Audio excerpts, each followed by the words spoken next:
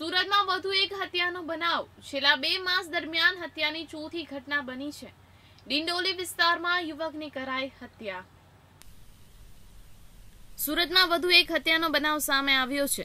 છેલ્લા બે માસ દરમિયાન હત્યાની ચોથી ઘટના બની હતી. ડિંડોલી વિસ્તારમાં યુવકની હત્યા કરવામાં આવી હતી. હત્યા કરી યુવકની લાશ ફેંકી દેવામાં આવી હતી. ડિંડોલી માનસી રેસિડેન્સી નજીક આવેલ ખુલ્લા પ્લોટમાંથી યુવકની હત્યા કરાયેલી લાશ મળી આવી હતી. અજાણ્યા શખ્સો દ્વારા યુવકની હત્યા કરવામાં આવી હતી.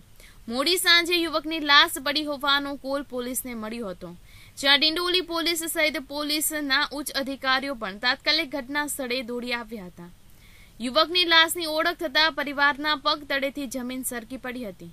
પરિવારજનો ઘટના સ્થળે દોડી આવ્યા હતા અને ભારે કલ્પાંત મચાવ્યો હતો.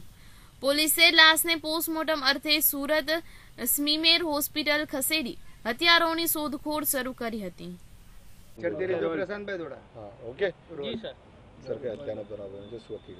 ડિંડોલી વિસ્તારમાં માનસી સોસાયટીની બાજુના ગ્રાઉન્ડમાં એક છોકરાની ડેડ બોડી મળી હતી. એનું નામ આઈડેન્ટિફાઈ થયું છે અભિષેક વામનરાવ પાટીલ. એને કોઈ તીક્ષ્ણ હત્યાના ગાવડે કોઈ કિસ્સામોએ અ, માર મારી હત્યા કરેલ છે. એનો બનાવ અત્યારે ડિંડોલી પોલીસ સ્ટેશનમાં હત્યાનો ગુનો નોંધાઈ રહ્યો છે. પ્રાથમિક કઈ કારણ બહાર આવ્યું છે સર નહીં હજી સુધી કોઈ પ્રાથમિક કારણ બહાર નથી આવ્યું. અંધારાના સમયમાં એક ઝાડ નીચે ગ્રાઉન્ડમાં ખુલ્લા ગ્રાઉન્ડમાં ડેડ બોડી હતી. તપાસ ચાલુ છે. Okay. Thank you sir okay sir. News Gujarati સાથે અરવિંદ રાઠોડ સુરત.